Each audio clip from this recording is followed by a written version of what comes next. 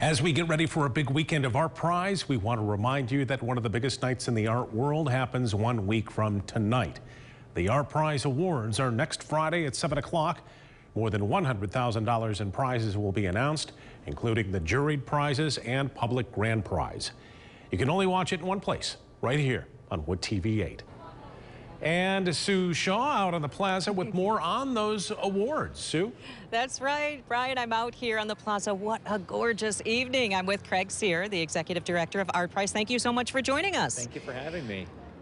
Does it get any better than this? I mean, it is alive today. I mean, talk about West Michigan weather. It could not be more perfect. It's gorgeous. Everybody's out enjoying it on this Friday. It's it's wonderful to see everybody getting together. Let's talk a little bit about the public grand prize. A lot of people talking about the prize structure this year.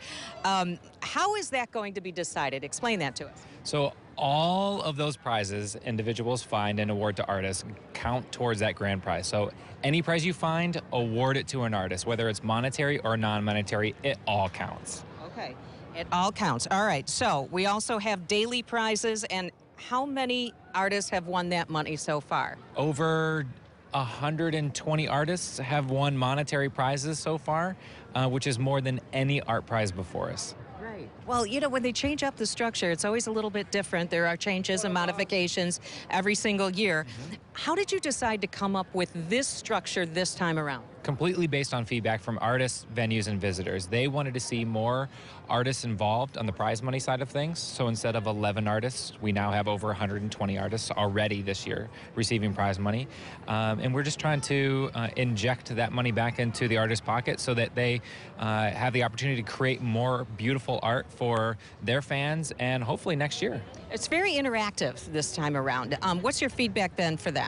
Uh, from an interactive standpoint, it's been awesome. Uh, we couldn't be more thrilled with the level of activity in the city, um, interacting with various venues and uh, the artists that they see around those areas. So exploration is an all-time high for visitors right now. Also, people uh, have the ability to buy the artwork, you know, that has been put forth this year that's new. Um, what do we know about that so far? Uh, again, a fantastic opportunity for artists to take advantage of this online auction side of things, uh, put their piece up for sale. So instead of a very one-to-one -one interaction during ArtPrize, uh, individual can go home and actually purchase their piece from the comfort of their own home behind a computer screen and, and, and place their bids. It's a very cool experience for the visitor and the artist, and 100% of the proceeds actually go to uh, the artists themselves. How much money is available to be awarded this weekend?